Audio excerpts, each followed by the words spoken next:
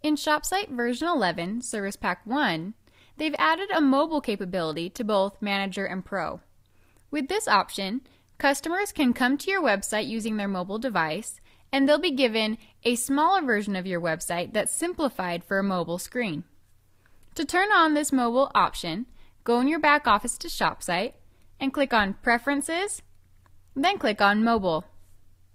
The first thing you want to do is switch this option to On and then upload your new logo. The logo for a mobile screen should be no more than 60 pixels high. Any higher than that, and it'll look a little bit off or take up more of the screen than you want. So you'll want to create a new logo that's smaller to be used only for your mobile pages. So I've already uploaded a logo, Tina's Toys Logo Mobile, and I'm going to check the checkbox to use that logo.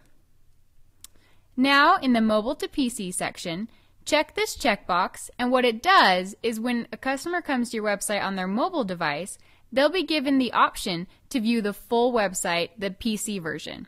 So they could click to view the full HTML site.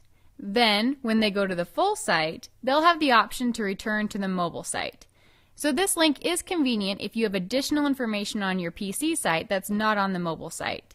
This can include product reviews or related items or even just some advanced details that aren't included on the mobile site. Next, you have the option for a page header and a page footer, but you don't want to clutter up your mobile pages too much. So if you don't have to put in a header or footer, I suggest don't. Next are the mobile colors. The text color is the text color. The background color is the background color. The link color and the active link color are going to be used for links in your store and navigation menus. The visited link color is mostly going to be used for buttons in your store, like the add to cart button or the checkout button. That color is, you're going to want to make a little bit more bold. So the blue and orange colors here are going to go great with Tina's Toys look and feel already. So I'm going to leave those colors plain. Next, you're going to want to set up your navigation menu. Across the top of all of your mobile pages will be a navigation bar that you can hold three to four links in it. So you have four different navigation fields here. The links that you add, you want to have generic enough that anybody that comes to your website can get around your store using those links, but specific enough that they have your top pages.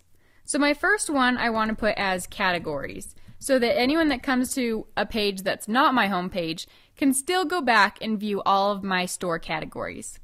So I'm going to select the page, and I want it just to link to my home page. So I'm going to add that, choose the ShopSite page, and leave it there. My second link I want to be a top page in my store. So I'm going to do the specials page. So check to use a ShopSite page, and then I'm going to select my specials page. My third link is going to be my store policies. So I'm going to select my policies page, add it, and then click on OK. And my last link, I want it to be a view cart link. So instead of selecting a ShopSite page, I'm going to enter a URL. So to grab my view cart link, I'm going to go to my store, right click on view cart, and click on copy link location. Go back into my back office and then paste that URL in there. The secondary navigation menu is only for your mobile home page. This is if you already have a navigation menu set up under Preferences Navigation, you can use that navigation menu on just your home page of your mobile site. So in Tina's Toys, I have both my top navigation menu and a left navigation menu. But the links are kind of repetitive, so I'm not going to display either on my home page. So I'm going to leave that just as it is. Down here, I do want to use the mobile product template for my mobile pages check that checkbox, and I do want to use the product template for mobile for the search results pages. So I'm going to check that checkbox. Save changes at the bottom, publish your store, and now you're done. That's all you have to do. Here I have my mobile device, and I've gone to my Tina's Toys webpage, and this is what a homepage looks like. This completes the video tutorial for mobile devices.